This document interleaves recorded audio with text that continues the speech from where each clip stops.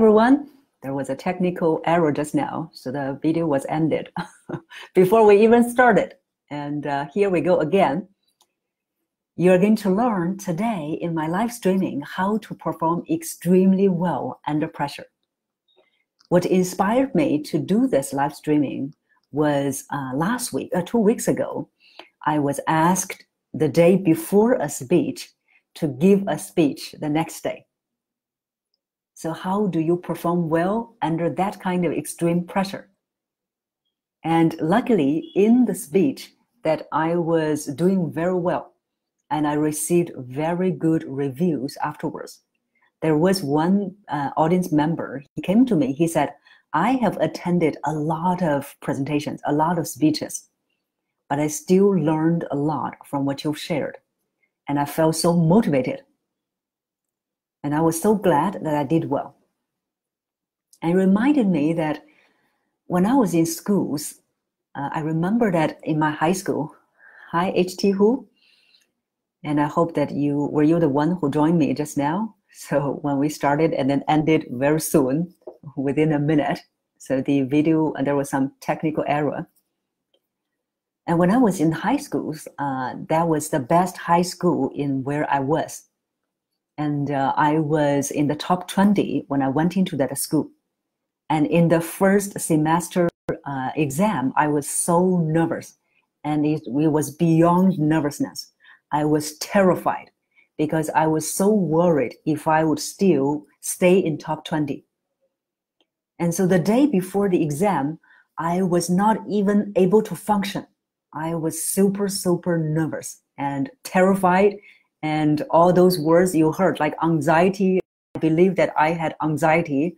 I believe i had panic.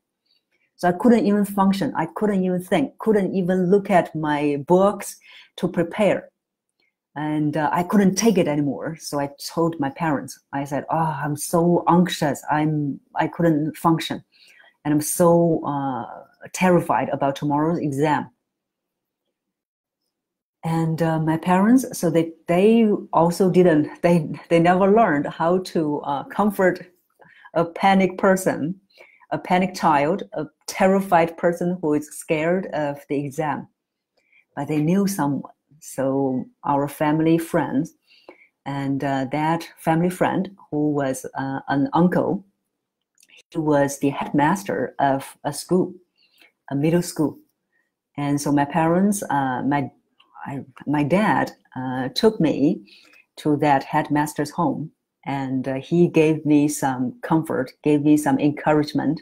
I didn't remember what he said. I only remembered that after we came back, I felt much better. And uh, I started to think about whether I would be able to stay in the top 20. Instead, I was preparing myself to be mentally ready. And uh, I remember that afterwards, the second day, and uh, I was not only in the top 20, but also I was in top 10. So from that moment on, I knew that whenever I was under pressure, no matter how anxious, how panic, how terrified I was, I knew that I would do well no matter what. What actually happened now that over so many years that when I reflected reflected upon that, I, re- I realized what happened was I, I let go of the attachment to the results. Hi, Liz. Thank you for joining me. And when I let go of the attachment to the results, I would be able to perform well.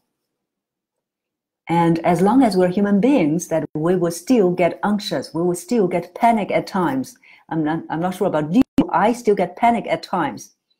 But whenever I get terrified, scared, nervous, panic, terrified, I had the confidence that I knew I would be able to do well because of all those past experiences I had and that extreme case where I was terrified.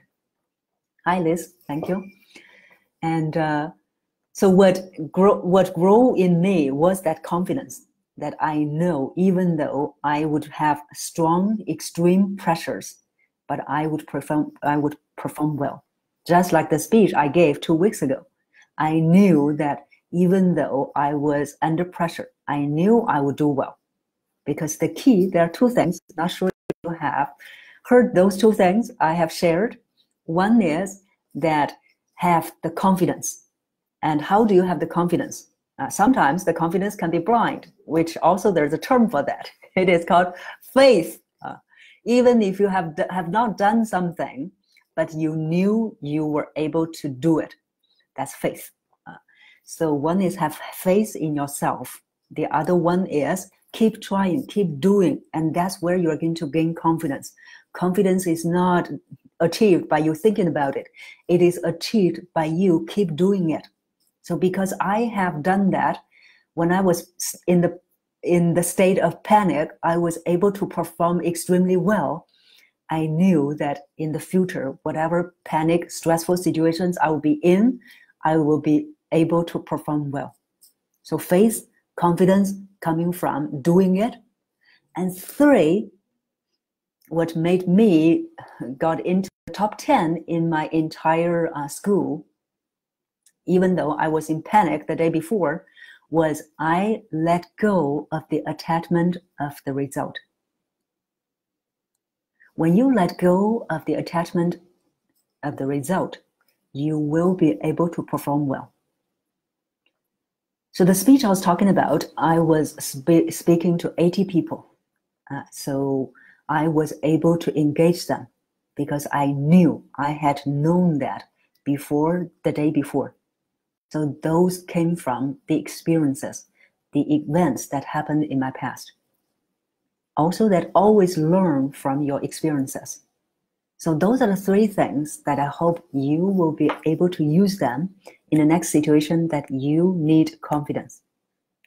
Faith, have faith in yourself, even if you have not done that have confidence in yourself.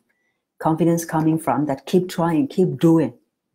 And three is let go of the result, uh, the attachment to the result. Let go of the result doesn't mean that you don't care about the result anymore or you don't care about anything anymore. Let go of the attachment to the result means that you are going to pay attention to the process. Make sure that you prepared well for every single step. If you can do that, you knew you have the knowing that the result will come to you and the result will turn out perfect.